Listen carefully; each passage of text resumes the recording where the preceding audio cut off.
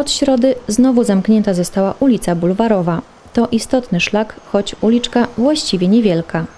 Ale w godzinach szczytu jej brak mocno daje się we znaki kierowcom. Zarząd Dróg i Zieleni jednak nie przewiduje, by utrudnienia trwały szczególnie długo. Jak nas dzisiaj poinformował Tomasz Dreyer, roboty wymagające zamknięcia ulicy potrwają ledwie kilka tygodni.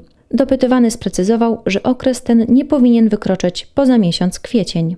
Jest więc poważna szansa, że na majówkę bulwarowa będzie już przejezdna i na dodatek będzie już na niej nowa nawierzchnia.